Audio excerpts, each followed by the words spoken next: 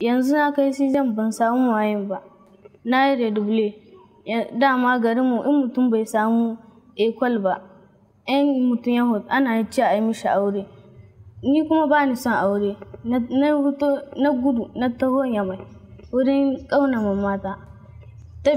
Ta kai ni wajen ƙungiya haka ta sos yanzu ban so in koma kamar ƙauyen in ni koma yanzu ana ce a yi mini aure.